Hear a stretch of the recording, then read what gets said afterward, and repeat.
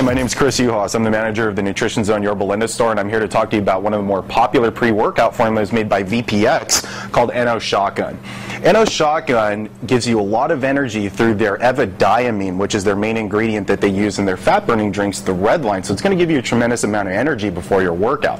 It also has creatine and it also has arginine as well to assist the body in pumping more blood to the muscles that you're training. One of the interesting things about Shotgun versus most products is that they come integrated with your complete proteins and uh, some BCAAs and glutamine for during the workout.